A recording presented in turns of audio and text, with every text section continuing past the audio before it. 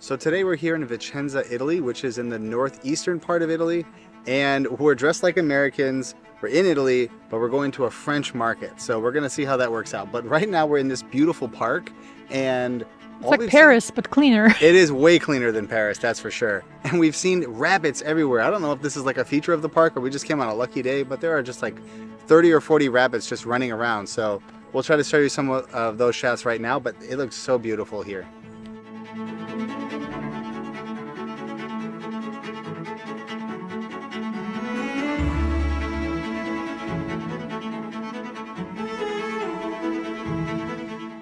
Even though we only live about an hour away from the city, we have never been here, so this is a first for us exploring Vicenza. The architecture alone blew us away. We just spent the better 20 minutes trying to find an ATM. Four ATMs that exist on Google Maps, but they don't, or they're closed off. Uh, so here, you, they expect you to have cash, but... Have no ATMs. So keep that in mind when you're traveling.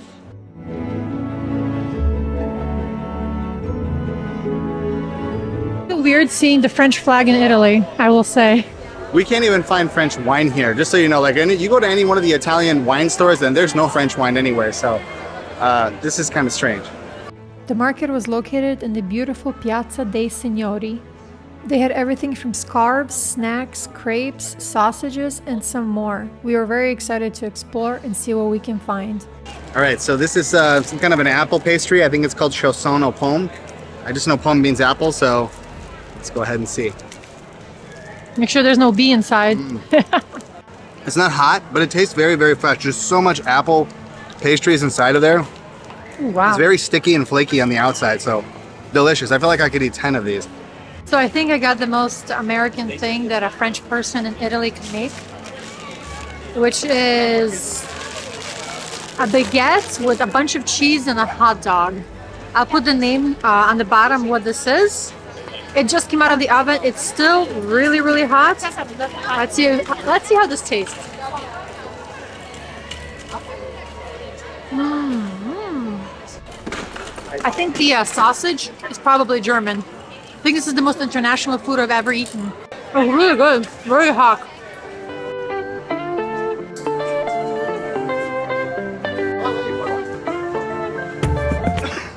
I was looking for this, some good French wine. So we're gonna leave here with what? Some wine, some cheese? Yeah, but you can't show the Italians that you're buying Italian uh, French wine though, because they'll probably arrest you.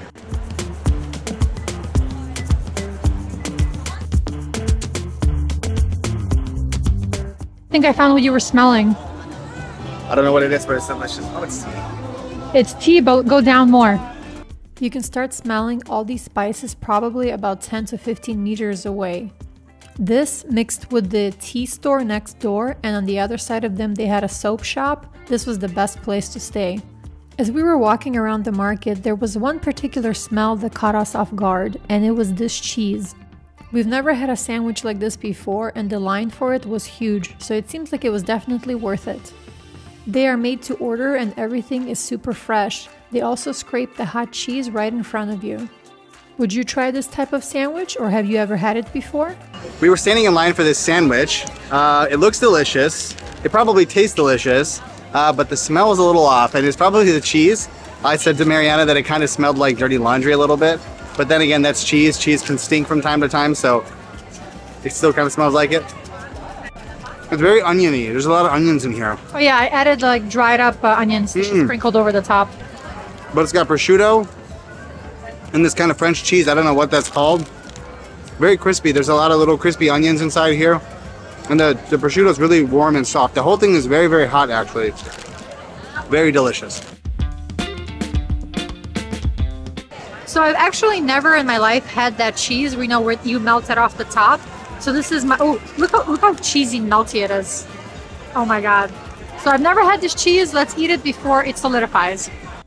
Mm. This would go well, so well, with like a good tomato soup. Mm.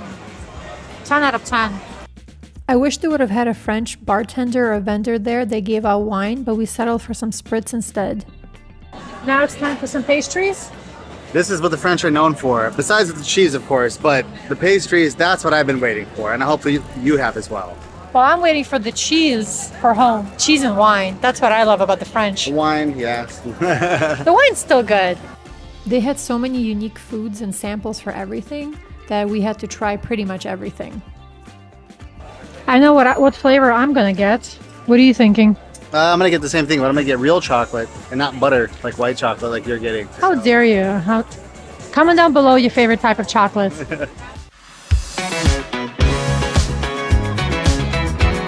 so this has been a really good first day in Vicenza so far.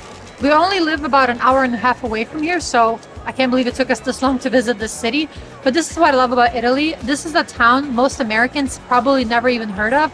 And if you look around, this place has more beautiful buildings, honestly, than Tuscany. And there are no tourists, maybe some like Italians or Germans. But this town is phenomenal. But let's try this French pastry in Italy. It's very light. It smells really good. Oh, wow. There's a marshmallow. And that doggo wants some. it's so, so good. Mmm. This will go really, really well with some hot chocolate. All right, so I went with the chocolate with coconut shavings on it, and I was wondering why there were bees over there, and that's actually because if you look on the bottom of this little waffle type thing, there's honey. There's like honey all over this thing, so. It's so soft. Oh my God. Right? Yeah, I can't tell if that's cream or marshmallow, but Either way, it's amazing. Mm. Very, very sweet. Honestly, I don't think you can have too many of these before you start to feel sick, but this one is absolutely amazing. Wouldn't it be great with hot chocolate? Oh, yeah.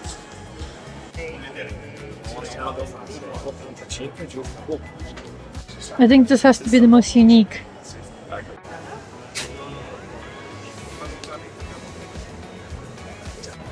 Cool, so the lady had a bunch of different flavors of the macaroons and I decided just to be funny, I wanted to go with three different alcoholic ones.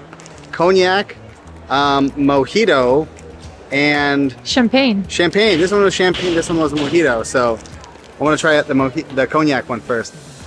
Crumbly? Wow. It kind of does taste like it has cognac in it. Oh my god. They're so delicate. I just see them crumbling. Let me see. Oh my god. Yeah, right? It's really good. Should I go on to the next one? Okay, next one. This is the champagne. So of course, being French and getting macaroons, you gotta get champagne ones as well. I like these because they're not overly sweet. Mm -hmm. Sometimes you get a macaroon and it just hits you with the sugar. These are very mild. They're extremely delicate, but they're also, this one's very soft in flavor. I don't know if I taste champagne, but it's still really good either way. There's like this um, caramelized sugar that's crusted on top. It's mm. really, really good. Give me some, damn. Damn. all right. Mm. Last one before I fall asleep from all this sugar. Mojito. Oh my god. Very green, this one. Does it smell like mojitos? They don't really have much of a smell, but maybe that's a good thing. I don't know if macaroons are supposed to smell like anything. Some angry dogs over there watching you. Whoa. This one tastes like a mojito. Mmm show like it is very green. Oh my god. Doesn't it? That is all mint. Wow. It's like the mint. Yeah, that's what it is. It's the mint from the mojito. So it's very good. refreshing though after really? the other one. Yeah. Mm.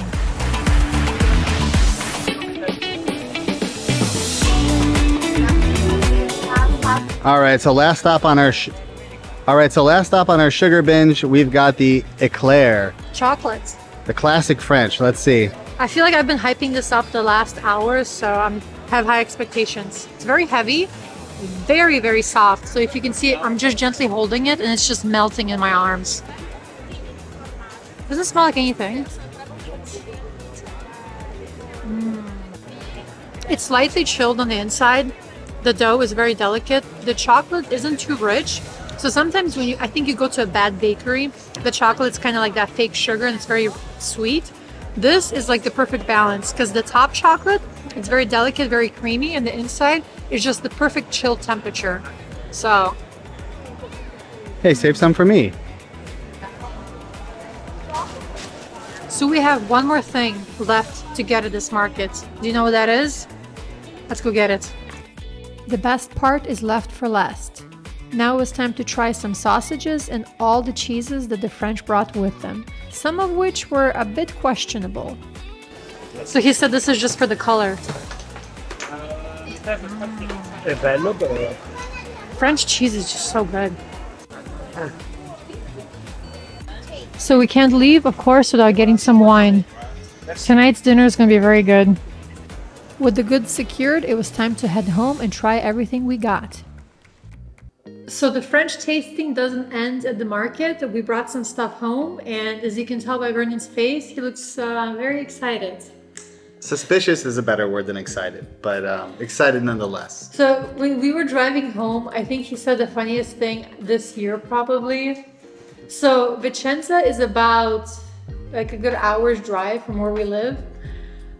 We had to open the windows because one of the cheeses was so stinky. It smelled so bad that I thought that one of us had farted in the car. Um, obviously, if there's only two people, that leaves only one other person. I thought it was her, but it, honestly, it was the cheese. So yeah. This is a good excuse to blame it on the cheese. And the thing is, is after bringing it home, it still stinks. It stinks up the whole kitchen. Uh, tell what happened this morning when you were making coffee?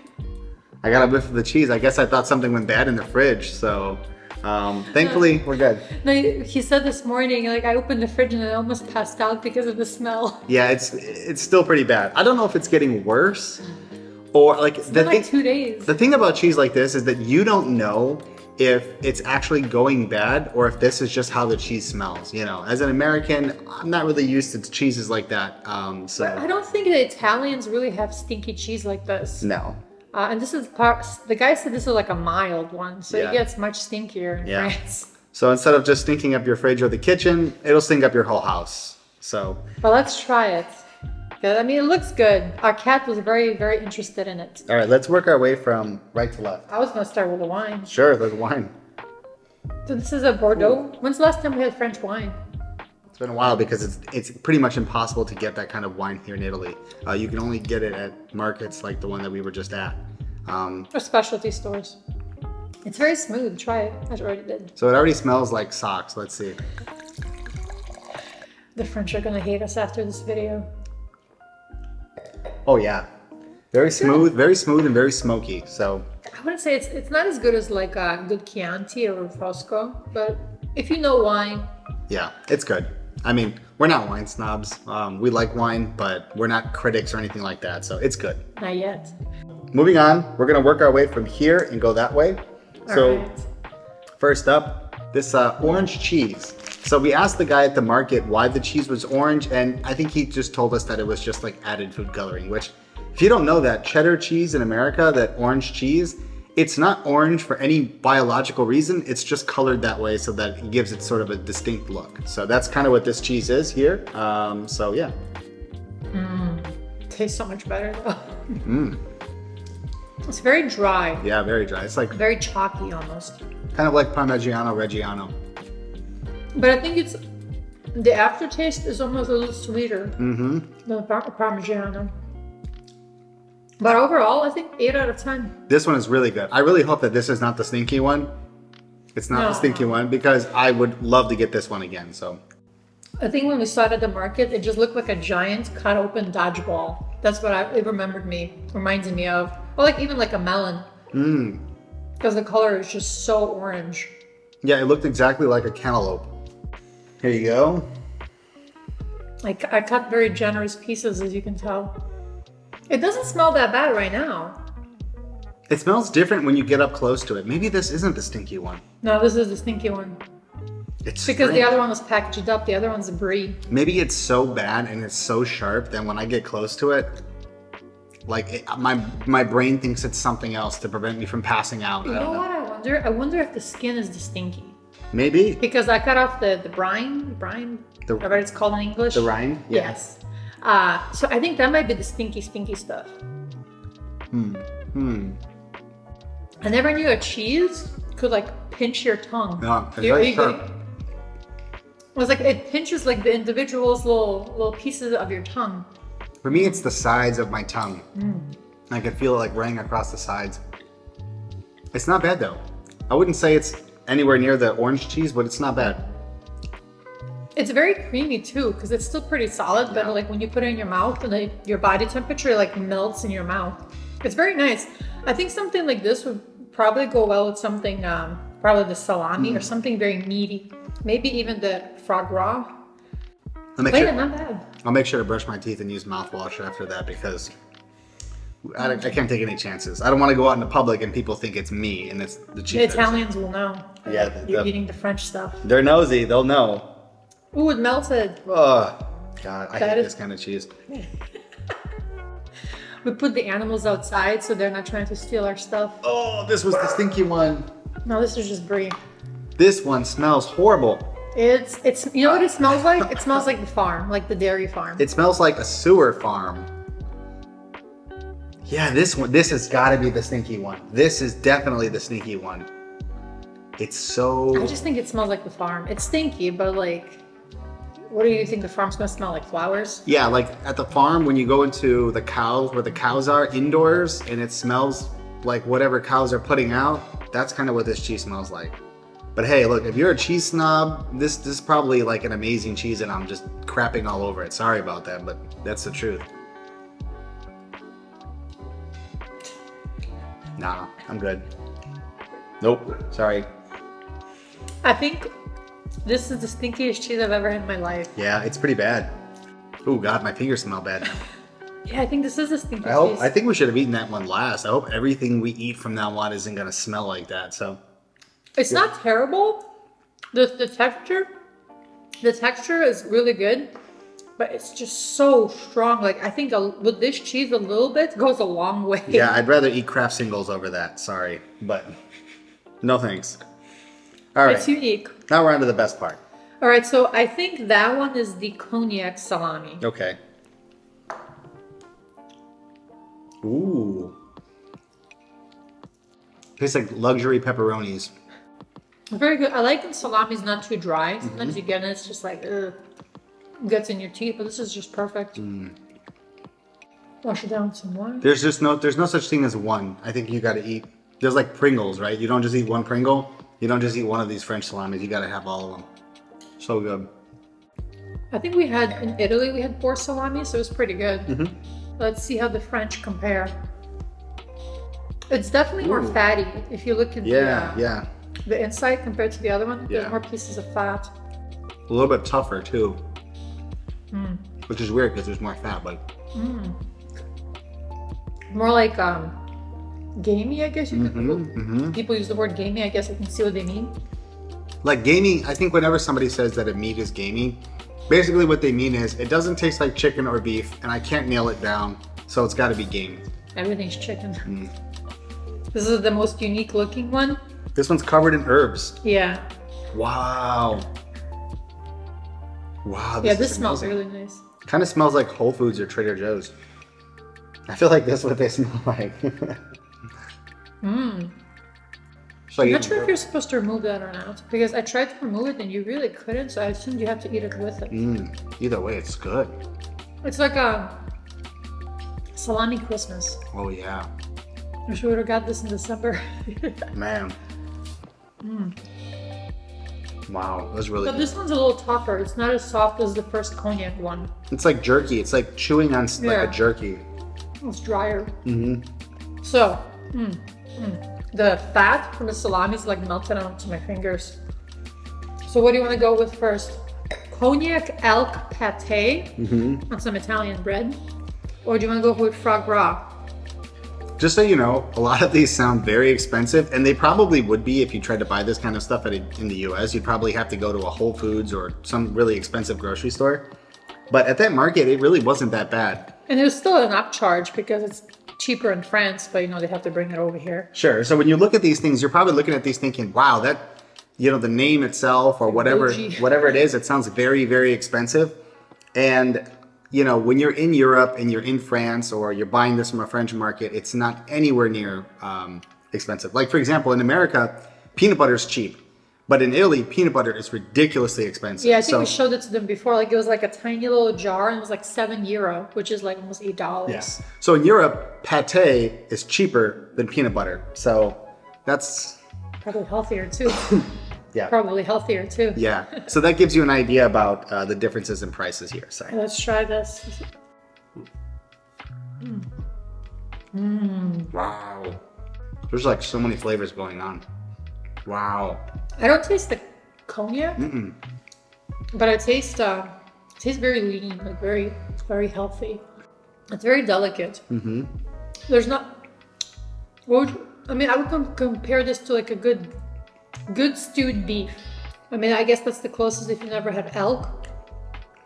But it, it tastes a little bit kind of like how the uh, boar salami was gamey. That's how I think this tastes a bit. Hmm. It's like a gamier beef. I'm trying to think of. There's no smell. Yeah, there's not really much of a smell. I, I'm not really sure how you would describe something like this. I think that there are these kinds of meat spreads that you'll find in the US. I'm not exactly sure the names of them, but it, this is the closest that you can get to that. But the taste is just completely unique. All right, next we have the uh, foie gras. I think was it the first time you had it? Like, was it two months ago? Yeah, Was that the first time? and to be honest with you, I didn't like it. I didn't like the foie gras. It's It's just liver. it did not taste like anything. Maybe it's a really, really fine taste, and you know, growing up eating Lunchables and and, and peanut butter and jelly sandwiches, I don't have the kind of palate for that sort of thing. But when I when I tried it before, it just did not have much of a flavor. It was just all texture. So we'll see if this one's any different. Which one do you want? The smaller one. I'm gonna go. With this one. But we still have a whole jar. it smells a little like cat food. Not gonna Our lie. cat was trying to climb up the counter and I opened the can. So sad. He probably thought this was for him. He thought, oh man, an early dinner. A little fancy for him. I think the can of this was 23, 24 Wow. euro. Mm, this one's better. Yeah, I'm not- That, that liver taste though, woo, that like hits you. it definitely comes in. This one's a lot creamier than the one that we had before. Um, It's nice. So being the only second time that I've ever had this before, it's not terrible. Um, I'm not sure what the hype is about foie gras because to me there's still not a whole lot of taste involved. Not Not, really. at least not to me, but uh, for those of you out there who like foie gras, please let us know in the comment section why you like it because I'm just really curious. I feel like it's something a lot like caviar. Yeah, I think it's like an acquired taste. Yeah. I mean, there's certain things that I eat uh, that he hates, like pickled herring. hmm When we went to Poland, we had a pickled herring tasting. And Amsterdam. I in Amsterdam, in Amsterdam, you get to eat the whole thing just like a seagull. It's great. I love Amsterdam. Well, hopefully you enjoyed today's uh, tasty video and we made you hungry. Yeah, I mean, if we get to go to any other markets like this again, uh, which they're not very common, at least where we live, but we'll definitely go ahead and try to get some more food from other places, maybe Austria or Germany or Switzerland. but there will be Christmas markets coming in what, two, three weeks? So, Say subscribe for that because we definitely will be going to Christmas markets. so like, comment, share, and subscribe. Yeah, so we're gonna get out of here, and I gotta light a candle because this place stinks.